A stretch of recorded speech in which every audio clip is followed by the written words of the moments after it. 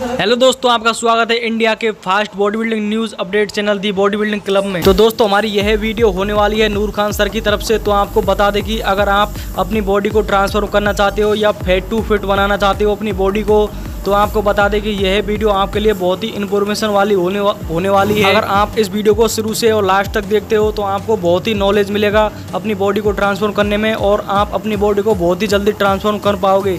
तो वीडियो को स्टार्ट करते हैं। जो वेट लॉस प्रोग्राम होता है इवन उसमें जो कैलोरीज बर्न करने का जो प्रोसीजर है, वो कार्डियो से भी कर सकते हैं आप अपना वेट ट्रेनिंग से भी कर सकते हैं। हाई जो एच आई टी करते हैं, समझ रहे हैं, उससे भी बहुत ज़बरदस्त इफ़ेक्ट पड़ता है। हर तरीके से हम कैलोरीज बर्न करते हैं और अपना वेट लॉस करने की कोशिश करते हैं। इवन डाइट का इसके अंदर बहुत बड़ा रोल रहता है कि डाइट का क्या है कि दोनों की चीज़ें कैलोरीज इनटेक आपका जो कैलोरीज इनटेक है, वो किस फॉर्म में जा रहा है, कितनी अच्छी कैलोरीज ले रहे हैं, कितनी क्वांटिटी में कैलोरीज ले रहे हैं। अभी इवन आप ये सोचने लगे कि मैं सीधा डायरेक्टली 800 कैलोरीज खाना शुरू कर दूँ तो वो गलत चीज़ होगा और कार्डियो पे मैं फोकस करूँ। बहुत बुरे शरीर कर लेंगे आप अपना। इवन इतना ज़्यादा बुरा और ज़्यादातर लोग कर चुके हैं ये। पार्क जाना शुरू कर देंगे वॉक करना शुरू कर देंगे। इवन क्या करते हैं? ट्रेडमिल पे जाना शुरू करते हैं। उसको 20-20 25-30 मिनट तक वॉक करते हैं। उसके बाद में अपना डाइट को इतना ज़्यादा कंट्रोल कर लेते हैं। इतना ज़्यादा कैलोरीज मतलब 800 कैलोरीज खा रहे हैं। खाना बंद कर दिया है। बॉडी बिल्कुल बेजान हो चुकी है। अब मसला ये आ गया है कि स्किन वो रुकी नहीं है, वो डाउन जाती जाती है। वो नीचे लटक चुकी है पूरी। क्यों? क्या करा उन्होंने? क्योंकि उन्होंने ऐसा कुछ किया ही नहीं कि जहाँ से बॉडी एक्टिव हो और उसको मतलब यूज़ टू किया ही नहीं मसल्स का उन्होंने। और उसमें मसल्स बनाने की कोशिश भी नहीं कर रहे हैं इवन तो ये गलत होता है। अब मेरा मेन फंडा क्या था कि कार्डियो कैसे करना चाहिए? अगर कोई इंसान वेट ट्रेनिंग भी करता है और उसको वेट लॉस करना है, अगर वेट ट्रेनिंग कर रहा है और वेट लॉस करना है तो उसका कार्डियो किस तरीके का होना चाहिए? और कैसे आप कार्डियो को करेंगे?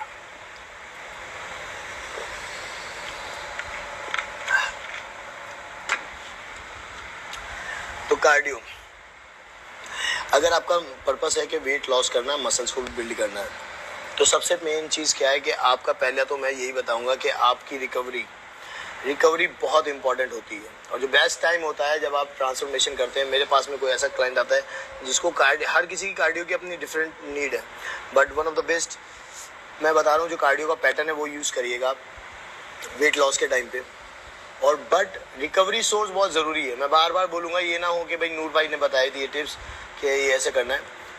रेस्ट रिकवरी आप उसके साथ में रखना। आपको रेस्ट और रिकवरी पूरी बैलेंस होनी चाहिए उसके साथ में। समझ रहे हैं? सो so, वो क्या है? थर्टी मिनट्स एक्सटेंड मतलब ज़बरदस्त वाला कार्डियो मतलब रनिंग वाला। ज़बरदस्त। अर्ली मॉर्निंग आप उसको करेंगे। 15 मिनट्स ये मैं सबसे टॉप लेवल से आ रहा हूँ नीचे, कि जो सबसे बेस्ट टाइम है, कितना स्पेंड करना चाहिए, जब वेट लॉस एक एक एक एडवांस मान लीजिए advance cardio thirty minutes fastest cardio fifteen minutes after work cardio ठीक है? And fifteen minutes before last meal cardio ठीक है? कितना हुआ पूरे दिन का? सिक्स सिक्सटी मिनट्स ये हो गया एक टॉप लेवल एक top level and second thing cardio का एक सेकेंडली आ जाता है, कि जब हम, ये तो बहुत एडवांस हो गया जब आप प्रैक्टिस करते रहते हैं। वेट ही नहीं गिर रहा है, कुछ नहीं हो रहा है एडवांस हो बट ये बेस्ट है। अगर आप कैलोरीज और रिकवरी अच्छी दे सकते हो तो ये कार्डियो में नहीं तो वन ऑफ़ द बेस्ट मेरा ये माना जाता है। या तो वर्कआउट के बाद, या फिर एम्प्टी स्टमक अर्ली मॉर्निंग अगर आप स्ट्रेंथ को डेवलप कर रहे हैं अगर आप स्ट्रेंथ डेवलप कर और देखो वुमेन और मैन का बहुत अलग है स्ट्रेंथ डेवलप करने का ना।